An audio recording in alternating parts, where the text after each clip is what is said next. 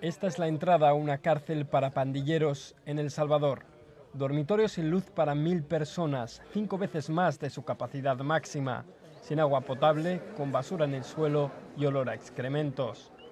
En esta prisión cumple pena el viejo Lin, líder de Barrio 18, una de las pandillas más violentas del mundo. Él fue uno de los negociadores de la tregua entre la Mara Salvatrucha y Barrio 18 para poner fin a los asesinatos y el reclutamiento de estudiantes. Tenemos dos opciones.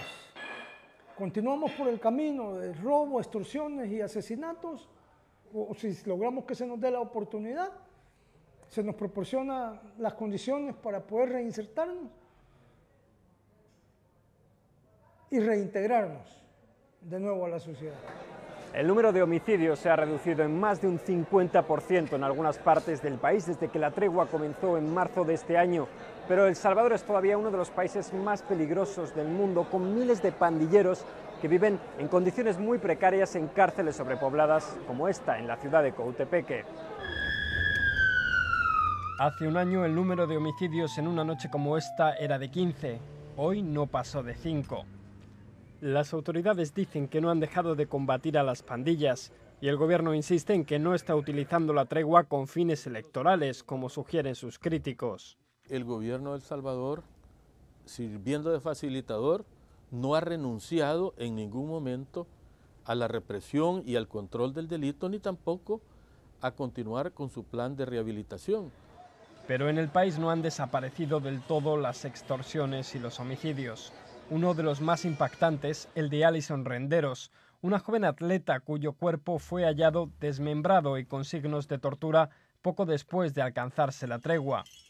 El gobierno sostiene que Allison tenía relación con un pandillero, pero su familia, que aún dice vivir bajo la amenaza de estos grupos, dice que la única culpa del adolescente fue vivir sin saberlo en un territorio disputado por bandas rivales. Si yo tuviera enfrente a, a las pandillas, en primer lugar les dijera que, que se pongan la mano en el corazón, que se den cuenta que todos tenemos familia y que si de verdad han hecho un pacto, que sean así como ellos dicen ser hombres y mujeres, porque mujeres hay involucradas, y que de verdad cumplan lo que digan y que ya no estén llevándose a la juventud del Salvador, porque es la que está peligrando.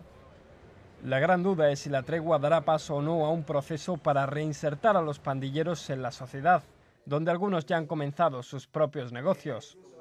Cuando se cumplen 20 años del fin de la guerra civil, El Salvador se enfrenta a una reconciliación que, según algunos, podría ser más difícil que cualquier acuerdo de paz. Desde El Salvador, Ignacio de los Reyes, BBC Mundo.